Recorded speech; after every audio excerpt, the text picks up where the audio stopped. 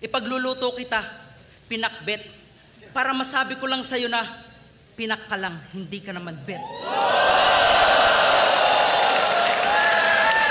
Tingnan ang daming tao sa restaurant. Oo, nag-cause nga ng commotion Ano eh. sabi mo? Basta nagkagulo.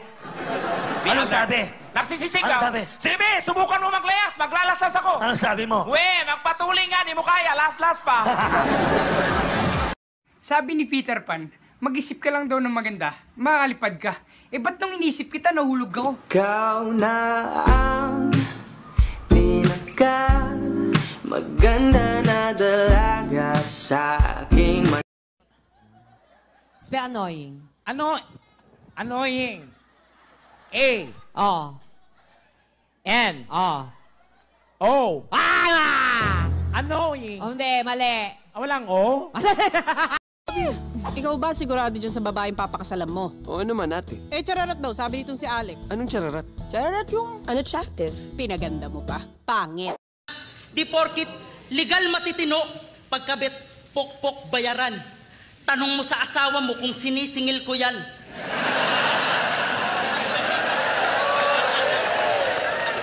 Mapanghusgang lipunan, tingin lagi ay pangkama, di ako kalad karing babae, kusa akong sumama. Sir, ilan taon na po kayo? Ah, actually nilagay ko dyan 33. Pero 34 talaga ako. Pabata po. Kakaya eh. Ngayon lang po kayo magpapatuli? Eh, nabisi. Ang kapangyarihan ko, ang babae malalaman mo kung virgin o hindi na virgin. Bibigyan kita ng sample. Dapat. Kapag ang babae walang asawa, walang siyota, in short, virgin. Yan. Kadalasan in-order niyan. Ano? Soup. Soup. Kita mo, saradong-sarado.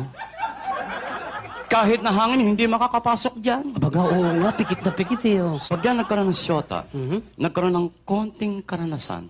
May konting karanasan. Yan. Ang ino-order niyan, Ano? juice. Juice. Kita mo, bumuka na.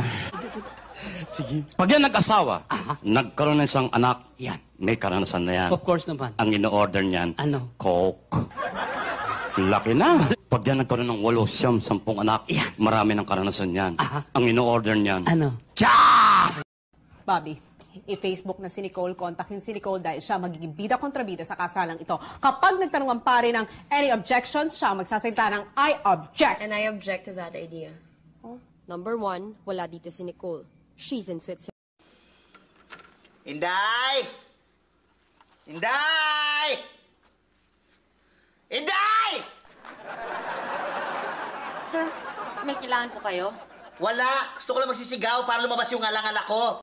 I wanna be, wanna be, super B, super B, yes, mother, father, I am sick.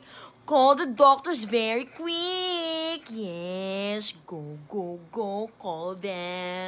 Hayop! Demonyo! Sige! Dagdagan mo pa yung kapintasan niya! Isigaw mo sa dagat! Pagkagamit! Demonyo! Supot! Maliit ang titi! Sabi mo. Hindi siya support. Tsaka malaki ang titi niya. What is personification? Personification from the root word person. Wet infection. So that, oh, personification. Ipagamot mo na siya. Hoy, don't dare me. Nako, yan na naman, don't dare me. Don't you ever, don't, don't Ano? you, don't, ako wag mo kong minamaliit ah.